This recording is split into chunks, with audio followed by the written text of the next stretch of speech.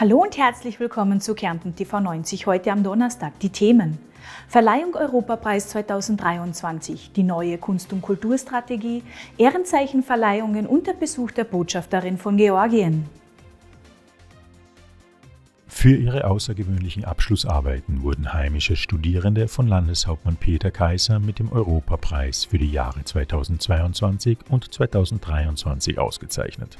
Das Land Kärnten prämiert mit dem Europapreis herausragende wissenschaftliche Arbeiten, die sich mit Europathemen, deren Auswirkung und Bedeutung für Kärnten befassen. Kärnten bekommt eine Kunst- und Kulturstrategie 2030. Ziel ist es, den heimischen Kunst- und Kulturbereich weiterzuentwickeln.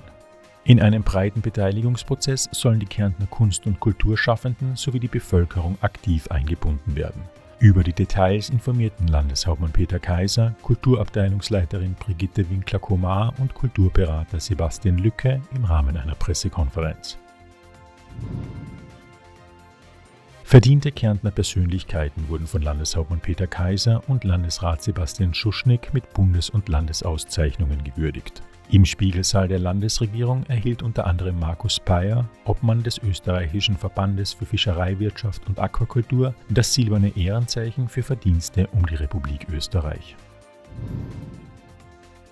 Gemeinsam mit Bundesrätin Claudia Arber begrüßte Landeshauptmann Peter Kaiser die Botschafterin von Georgien, Ketevan Cikelashvili, in der Kärntner Landesregierung.